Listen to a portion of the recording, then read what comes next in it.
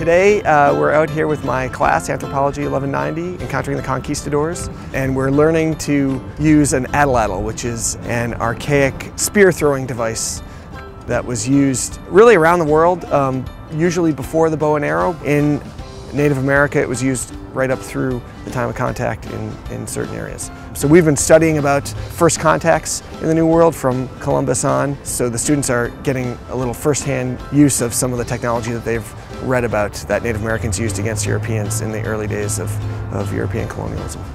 I think there are a lot of assumptions about the superiority of European technology. Native Americans were using technologies that the Europeans were not familiar with as well, and often with deadly results. So uh, one of the major points of this class is rethink the colonial encounter through Native American eyes um, and how they would have experienced the first Europeans to come to the New World. Well, this is definitely a more hands-on experience. We get to see how the Native Americans hunted. I didn't even know that these uh, objects still existed. Getting to use these is pretty nifty, so props to Professor Liebmann. This is also a lot of fun. It's nice to get up out of the classroom.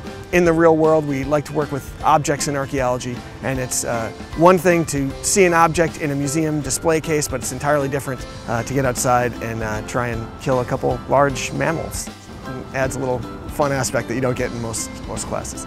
No animals were actually harmed in uh, the sections that we're doing today. They're, they're just targets.